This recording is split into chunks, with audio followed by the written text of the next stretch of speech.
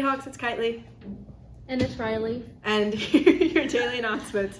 Today is Wacky Wednesday. For this Wacky Wednesday, we decided to ask ChatGPT some of the wackiest things it could imagine. Here they are. Number one, a world where cats can talk and run their own government. A restaurant that serves food that looks like everyday objects, as such as shoe-shaped sandwich or a hamburger that looks like a computer mouse. A theme park where all the rides are giant hamster balls. A dance competition where the dancer are all robots and the judges are humans. Hey prom goers! The Knoxville Flower Shop will be in the atrium selling boutonnieres and corsages for prom on Tuesday, April 11th and Wednesday, April 12th during lunches. Don't miss out on this opportunity to get your flowers for prom. Students planning to take advanced theater next year should submit an audition to Mr. Sides by this coming Monday, April 10th. This audition should be a one-minute monologue submitted via video to john.sides at knoxschools.org. Remember that you can take advanced theater without what? Remember that you cannot take advanced theater without an audition and first com completing Theater Arts 1. Auditions for next year's musical theater class will be held after school on Monday, April 17th. These auditions are for both current high school students and rising ninth graders. Anyone who registered for the class or is considering registering for the class must audition by singing 16 measures of a Broadway song of their choice. Please choose a song that shows off your vocal range. Auditions begin at 3.45 p.m. and will end at 6 p.m. though students may leave immediately following their audition. For more information, contact Mr. Sides at john.sides at knoxschools.org or Mr. McMinn at john.mcminn at knoxschools.org. HVA's Visual Art Department is hosting an art show this Thursday, April 6th from 5 to 7 p.m. in the atrium. Please join us for this free event to see work from HVA's art classes this year.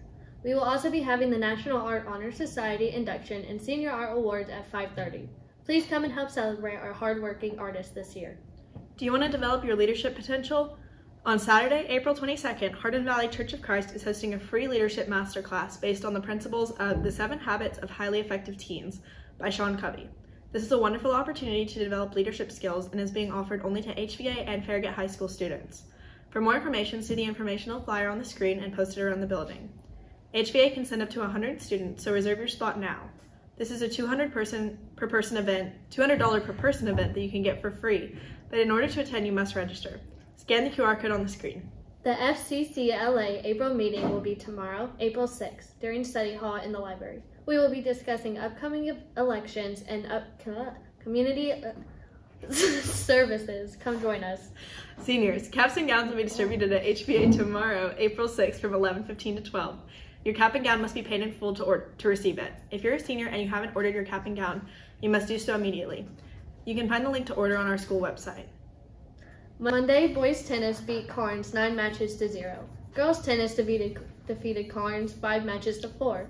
Savannah Staten and Macy McInturf clinched the team win in doubles. Next, next match is Wednesday, April 5th at West Hills Park versus Heritage.